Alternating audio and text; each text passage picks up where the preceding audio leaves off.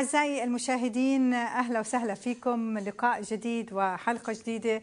إحنا دائما بنحاول نقدم لكم ألذ وأشهى الأطباق مع وصفات مجربة ومقادير مزبوطة فإن شاء الله بتكونوا عم تستفيدوا من هالحلقات. حلقتنا اليوم حنبتديها بصنف كتير لطيف ومطلوب دائما اللي هو الكبة. نشوف مع بعض طريقة تجهيزها. الكبة المقلية 2.5 كوب برغل ناعم 500 جرام لحم هبرة حبة كبيرة بصل 2 ملعقة صغيرة ملح نص ملعقة صغيرة فلفل أسود 2 ملعقة صغيرة مردقوش الحشوة 2 ملعقة كبيرة سمن 500 جرام لحم مفروم خشن 2 حبة كبيرة بصل مفروم 2 ملعقة صغيرة ملح نص ملعقة صغيرة فلفل أسود 2 ملعقة صغيرة بهار لحم 2 ملعقة كبيرة سماء وربع كوب صنوبر وللقلي زيت ذرة. أعزائي المشاهدين زي ما ذكرنا طبق الكبة من الأطباق المطلوبة طوال أيام السنة للحفلات لأعياد الميلاد لأي تجمعات أو لوجبات الغداء العادية. ويكثر الطلب على الكبة في رمضان لأنه بتعتبر بردك من الأصناف اللذيذة الكل بحب يتعلمها. ونشوف مع بعض إحنا اليوم خطواتنا لتجهيز الكبة خلينا نبتدي هلأ نتكلم عن الطريقة أكثر انتشارا يعني ممكن أعمل الكبة بمحضرة الطعام ولكن مفرمة اللحمة هي أفضل شيء لفرم الكبة. بثبت الشفرة الناعمة وأبتدي أجهز هالخليط هذا. بحاول أحط هون كمية من المكونات علشان ببساطة أقدر أنا أدفعها في داخل الأنبوب هذا وتنفرم عندي بسهولة. هبتدي أحط البرغل. زي ما بنشوف هلا البرغل لين ومبشبش هيك وتضاعف حجمه. حتى بتلاحظوا كمان كيف لونه بيبقى بيفرق معي أصبح لونه فاتح بهذا الشكل. يعني نحط كمية ونحط كم حبة من البصل وكم قطعة من اللحم. وبرضو أثناء ما أنا عم بفرم البرغل بحاول أمرق بعض مكعبات الثلج بتعمل لي ليونة في العجينة وخلوا بالكم في ناس مثلا بحبوا يحطوا برش البرتقال في ناس بحبوا يمرقوا معها قرن فلفل زي ما بتحبوا بتقدروا تنوعوا بهذه الكبة. ببتدي أشغل وزي ما قلنا إحنا أثناء الضغط على هذه المكونات.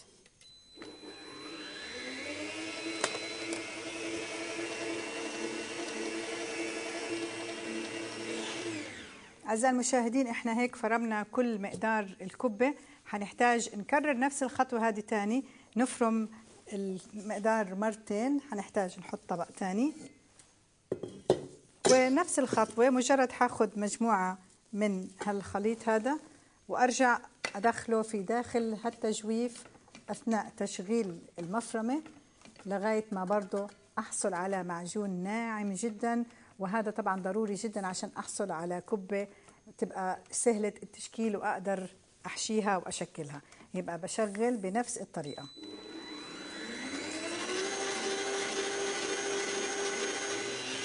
أعزائي المشاهدين الكبة هيك تعتبر عندي جاهزة. خطوتنا الثانية اللي هي عجن هالمكونات كليتها مع بعض. بعد ما أحط لها طبعا البهارات اللي أنا حابة أستعملها. حبتدي أضيف البهارات اللي أنا حابة أستعملها وزي ما ذكرنا قبل شوي البهار المميز للكبة اللي هو المردقوش وحنحط الملح والفلفل إذا حبيتوا تحطوا بهارات مشكلة حسب رغبتكم. البهار المشكل إحنا حنضيفه مع الحشوة ولكن إذا حابين تستعملوه برضو ما في مشكلة. حنضيف الفلفل الأسود.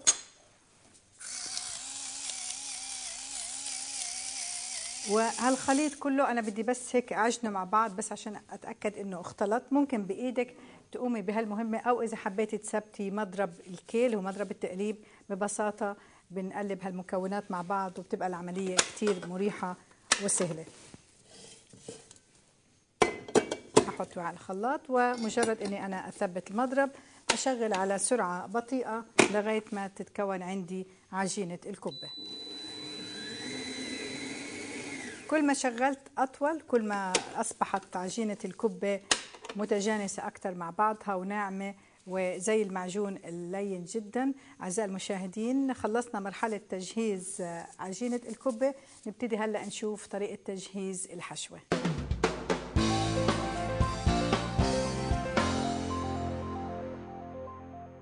أعزائي المشاهدين بالنسبة لتجهيز الحشوة إحنا حنستعمل سمنة أو زيت أو إذا حبيتوا أي نوع من الدهن زيت قلي أو زيت زيتون زي ما بتحبوا. هاخد حوالي معلقة. طبعا يتوقف آه، كمية الدهن على حسب برضو اللحمة اللي عم تستعملوها. إذا اللحمة مدهنة شوي ممكن أقلل كمية الدهن. هحتاج لحم خشن ويفضل. إذا مش موجود عندكم فيكم تستعملوا اللحم الناعم ما في مشكلة عندنا. بس هذا لحم مفروم خشن بيبقى طعمه أطيب. في داخل الكب بضيف اللحم.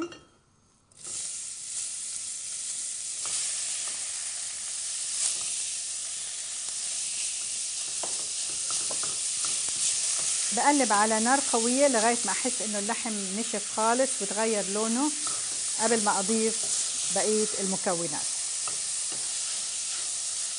اللحم عندي هلا أصبح ناشف وبنسمع برضه صوته هيك محمص تحميص. ببتدي أضيف البصل. حوالي اثنين حبة كبيرة من البصل المفروم. وبرضه أقلب البصل هيك مع اللحم لغاية ما ينشف عندي البصل على الآخر. بضيف هلا البهارات اللي أنا حابة أستعملها في هذه الوصفة. وبنرجع دائما بنقول أعزائي المشاهدين البهارات حسب رغبتكم. في ناس بحبوا يغيروا في المقادير أو تشكيلة البهارات في بعض الوصفات في مجال نغير في بعض الوصفات لا.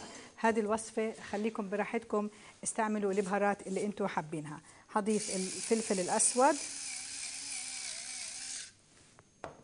حضيف بهارات لحم. أو بهار مشكل. في ناس بيحبوا يستعملوا بهار مشكل عام. حضيف سماء السماء حيعطيني طعم كتير رائع مع حشوة الكبة وطبعا حنضيف الملح. هالمكونات كلها حنخلطها والإضافة الأخيرة اللي حابين نضيفها اللي هي الصنوبر الصنوبر طبعا إذا مش موجود بتقدروا تستبدلوه بأي صنف آخر. من المكسرات. ممكن تستعملوا الجوز ممكن تستعملوا اللوز. تقطعوه على شكل أصابع طويلة رفيعة. ححط اللحمة في طبق التقديم أو في طبق جانبي وأضيف عليها الصنوبر وتبقى الحشوة عندي هلأ أصبحت جاهزة. خلينا نشوف مع بعض هلأ البعض الأساسيات البسيطة اللطيفة اللي ضرورية عشان نقدر نعمل حشوة أو نعمل قرص آه، كبه لذيذ. حخلي الحشوة على جنب. حخلي العجينة أو بنسميها قشرة دائما آه، بنسميها القشرة الخارجية. هي تعتبر أنه قشرة الكبة حنخليها على جنب. حاخد طبق أحط فيه شوية مي متلج مع مكعبات ثلج وأخذ طبق صغير أشتغل في داخل الطبق الصغير عشان أكون حريصة وأنا بشتغل وحنقول لكم ليش إحنا عملنا هذه الخطوات. أنا باخذ هلأ جزء من العجينة أو قشره الكبة بحاول أشكلها في إيدي هيك أتأكد إنها ناعمة ولطيفة لاحظوا كيف لينة جدا. بشكلها على شكل كرة. إذا احتاج الأمر مش شرط ومش ضروري 100% آخذ قليل من قطرات المي أبلل فيها إيدي أثناء ما أنا بشكل على شكل كرة. بالطريقة هاي. أبتدي هلأ أعمل تجويف في داخل قرص الكبة بهالطريقة. كتير بسيطة وكتير سهلة ونحاول القرص أخليه عميق قدر الإمكان عشان ما يغلبني أثناء التشغيل. لاحظوا الموضوع كتير بسيط. بمسك القرص بهذه الطريقة وباخد شوي من الحشوة وأملأ القرص على الآخر. ببساطة بقفل هالأطراف على بعض وأحاول شوي شوي هلأ أحط القرص بالعرض بإيدي وأبتدي شوي شوي أشكله على شكل قرص الكبة مع قطرات بسيطة من المي ما تكتروا مي. إذا احتاج الأمر ممكن ما تحتاجوا مي. بحاول هلأ القرص بالزاوية اللي ما بين الأصبعين هدول أبتدي شوي شوي أضغط عليها بخفة مع تقليبه عدة مرات على كل الجوانب. لاحظوا كيف بشكل بسيط جدا. ومرن بحتاج المي حسب الحاجة.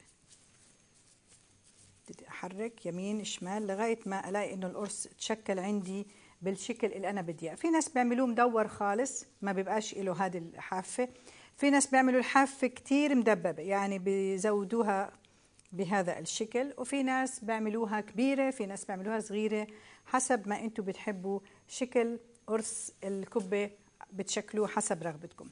بكمل تشكيل مجموعة بقدر أقليها مباشرة وبقدر أحتفظ فيها بالثلاجة إذا عايزة أحطها بالثلاجة ممكن أخليها لمدة يوم وتاني يوم أقلي. إذا عايزة أحتفظ فيها لفترة أطول لابد أحطها بالفريزر بصينية مفرودة وهي مكشوفة خالص. تنشف تصير يعني فروزن خالص. بعد هيك بشيلها وأقدر أحتفظ فيها في أي وعاء. وقت القلي بطلع من الفريزر وبقلي على طول. أعزائي المشاهدين خلينا نشوف هلأ طريقة القلي.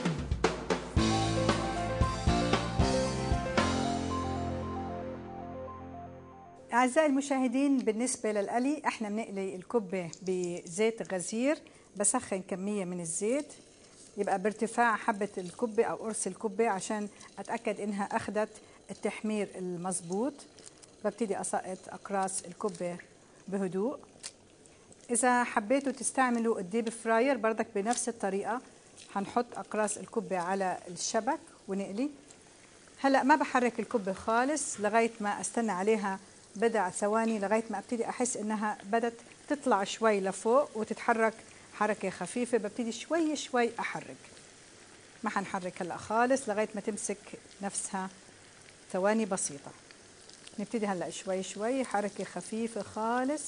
أتأكد بس إنه حبات الكبة عم ياخذوا راحتهم هيك في القلي. ما نستعجل. إذا كنت عم بستعمل الكبة مجمدة بعمل حسابي إنه الزيت حتى نخفض درجة حرارته شوي أثناء القلي فمش مشكلة بخلي بردك بنفس درجة الحرارة حترجع تعلى تاني بعد ثواني بسيطة. بس بقلي الكبة وهي مجمدة على طول ما بخليها تفك من الفريزر على طول. ممكن تخلوها دقيقة بس برا يعني بس إنه مش مش تصير لينة خالص أو ترجع بدرجة الحرارة العادية.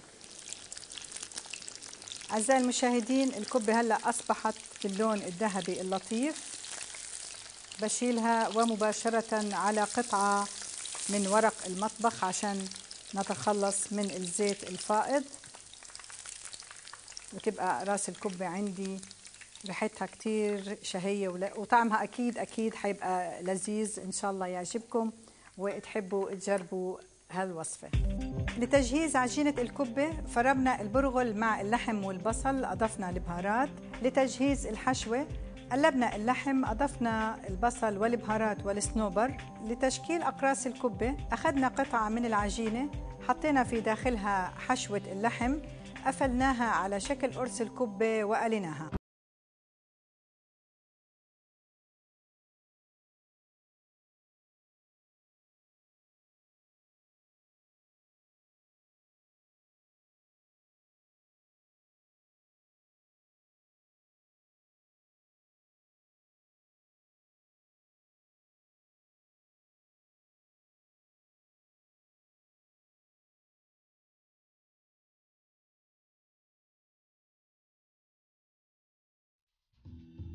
الكبة المقلية 2.5 كوب برغل ناعم 500 جرام لحم هبرة حبة كبيرة بصل 2 ملعقة صغيرة ملح نص ملعقة صغيرة فلفل أسود 2 ملعقة صغيرة مردقوش الحشوة 2 ملعقة كبيرة سمن 500 جرام لحم مفروم خشن 2 حبة كبيرة بصل مفروم 2 ملعقة صغيرة ملح نص ملعقة صغيرة فلفل أسود 2 ملعقة صغيرة بهار لحم 2 ملعقة كبيرة سماء وربع كوب صنوبر وللقلي زيت ذرة.